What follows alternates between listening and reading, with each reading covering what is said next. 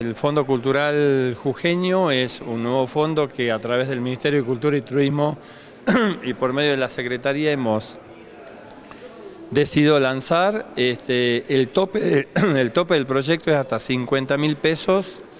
Eh, está destinado a todos los gestores culturales, artistas este, de la provincia, eh, con distintos proyectos, un poco atendiendo a cuáles son eh, las demandas que tenemos día a día. ¿no?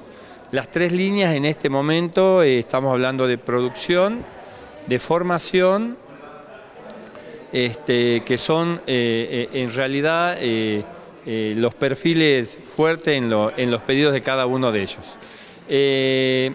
van a poder, tienen hasta el 31 de julio para presentar el proyecto, nosotros vamos a subir toda la información a la página, donde van a poder presentarlo, de ahí vamos a tener nosotros un mes de eh, para evaluarlos y el 3 de septiembre vamos a hacer eh, la primera entrega. El tope es hasta 50 mil pesos. ¿Cuántos proyectos calculan ustedes que pueden presentar?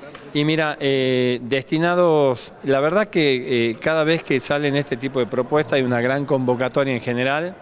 Este, intamos a todos los gestores culturales de toda la provincia, porque esto no está cerrado para capital, sino que la idea es que eh, podamos nosotros aportar de acá desde la Secretaría de Cultura de la provincia esto eh, a nivel, justamente a nivel provincial y que se nos acerquen todos los gestores culturales, digamos, eh, de las distintas regiones este, para este tipo de proyectos, que es una oportunidad también que les da el gobierno de Jujuy para poder ayudar en cada uno de sus proyectos.